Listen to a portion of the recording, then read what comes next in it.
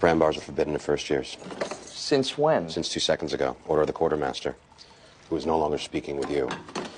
Rachel, hmm. can you please instruct the associate to your right to pass a non-dairy creamer? Louis, as I have been trying to tell you in person and in the note I left and in your voicemail, I'm sorry. You know what non-dairy creamer is, Rachel? Uh, It's a metaphor.